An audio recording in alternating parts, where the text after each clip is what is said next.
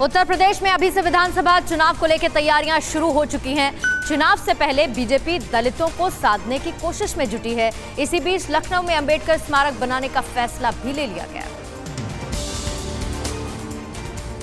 उत्तर प्रदेश की विधानसभा चुनाव से पहले बीजेपी ने दलित वोट बैंक को साधने के लिए एक और बड़ा फैसला किया है। बताया जा रहा है कि ये नया स्मारक दलितों की लाभबंदी के लिए काफ़ी अहम है। बीजेपी अब लखनऊ में अंबेडकर स्मारक बनाएगी। कैबिनेट की बैठक में सीएम योगी ने स्मारक के लिए ज़मीन को मंजूरी दे दी है। राष्ट्रपति रामनाथ कोविंद उनतीस जून को लोक भवन सभागार में इसका शिलान्यास करेंगे। सेंटर में बाबा साहेब की पच्चीस फुट की प्रतिमा भी लगाई जाएगी। सरकार की मंशा इस बात को लेकर भी एक रिसर्च सेंटर भी बने, ताकि स्टूडेंट्स को भारत रत्न बाबा साहेब भीमराव और अंबेडकर के जीवन पर रिसर्च कर सकें।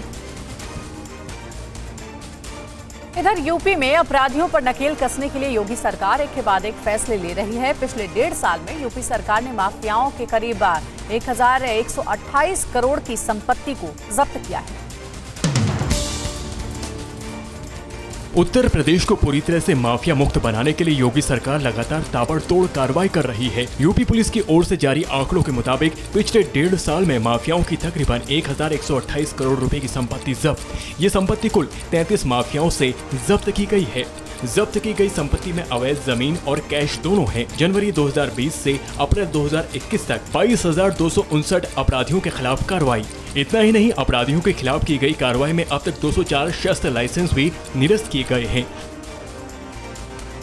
अड़ी, सोमवार से शुक्रवार शाम छह बजे, सिर्फ़ टीवी नाइन भारतवर्ष पर।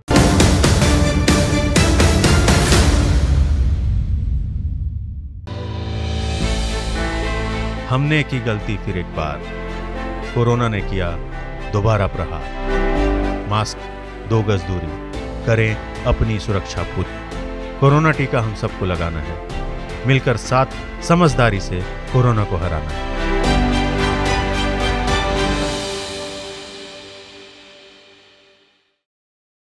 परवाह देश की। सोमवार से शुक्रवार रात 10 बजे टीवी 9 भारतवर्ष पर।